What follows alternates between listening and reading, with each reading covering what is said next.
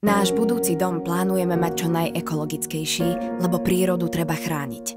Drahé vykurovanie elektrínou alebo nákladné tepelné čerpadlo je nad naše finančné možnosti. A plynofikovaný pozemok sme si už kúpili, takže kúriť budeme úsporným kondenzačným kotlom. Je to najdostupnejšie ekologické riešenie.